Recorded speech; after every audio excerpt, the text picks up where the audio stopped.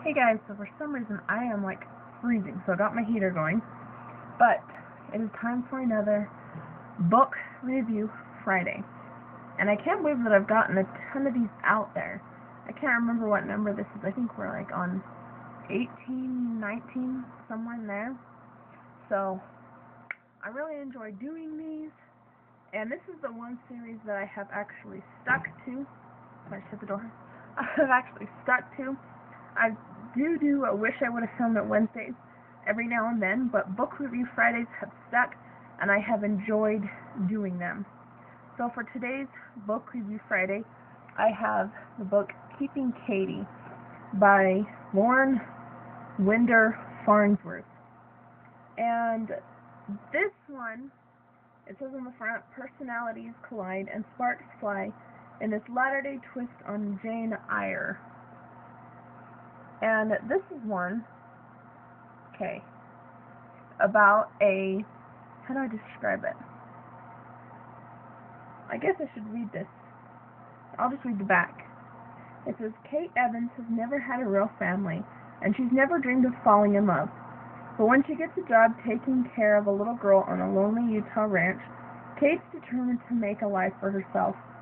Right up until the moment she meets her irritable employer, Sparks fly in this LDS twist on the classic Jane Eyre.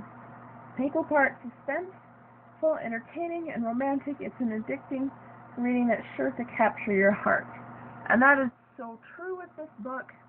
This is one that I did not read the back chapter here.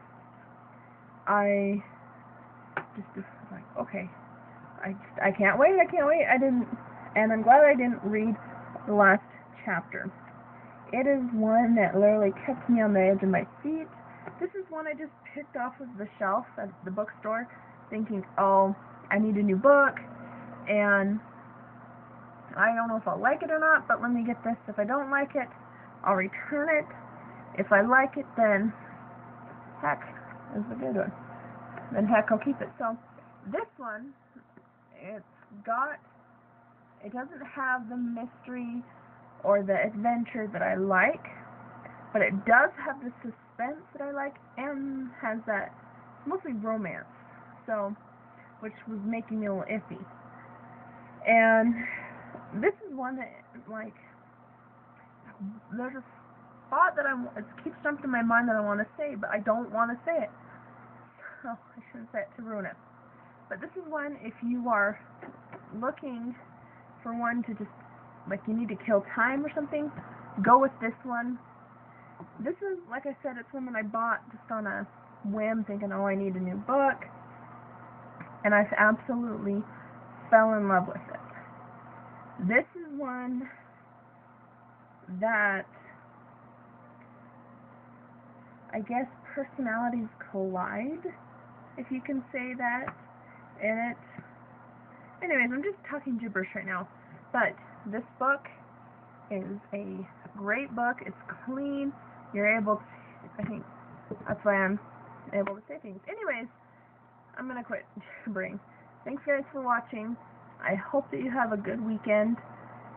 And I will see you in the next video. Bye guys.